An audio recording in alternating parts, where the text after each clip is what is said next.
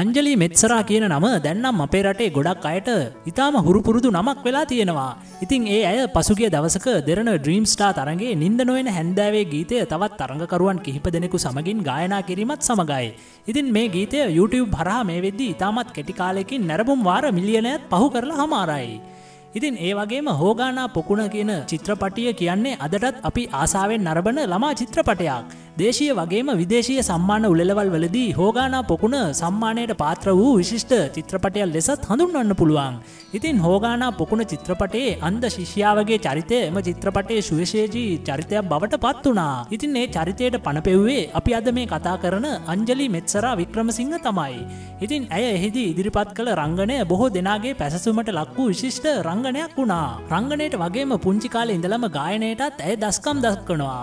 Derana little star තරගාවලියේ සිව්වන අධියරේ අටෙන් පහළ ගායනා අංශයේ විශිෂ්ටතම තරුව බවට ඇය පත්වනේ ඇය තුළ ළමා කාලේ ඉඳලා තිබුණු ගායන හැකියාවත් මනාව පිළිබිඹු කරමින්. ඒවගේම අද වෙද්දී අපිට ඇයව දකින්නට ලැබෙන්නේ දෙරන ඩ්‍රීම් ස්ටා දසවන අධියර හරහා. දෙරන ඩ්‍රීම් ස්ටා තරගාවලියේ ඇය සාර්ථක ගායනයන් කීපයක්ම ඉදිරිපත් කරනවා අපට දැකගන්නත් ලැබුණා. ඉතින් ඒ අතර ඇය ගැන වැඩියෙන්ම කතාබහට ලක්වන්න ගත්තේ නින්ද නොවෙන හැන්දෑවේ ගීතයේ ගායනයත් සමගයි.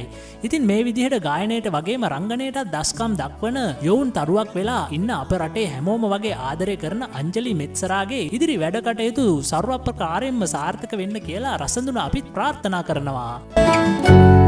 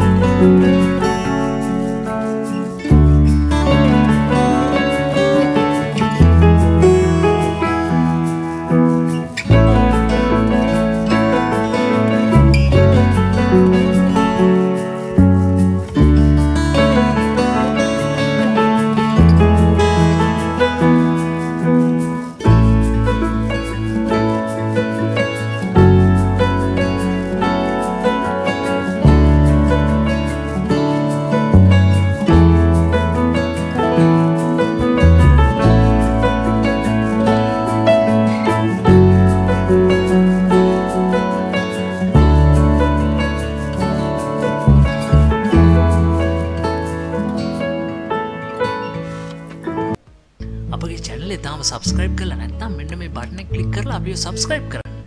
ඒවගේ මෙන්න මේ බෙල් බට්න ඇක්ටව කළොත් අපේ චැනලට එකතුන්න නවතම් වීඩියෝ ගැන ඔබට එසනින් දැනගැනීම හැකයාව ලැබෙනවා. ඒවගේ අපගේ ෆස්බුක් පිටුවට පිවිස අප ලයි කිරීමට දමතක් කරන්න එපා.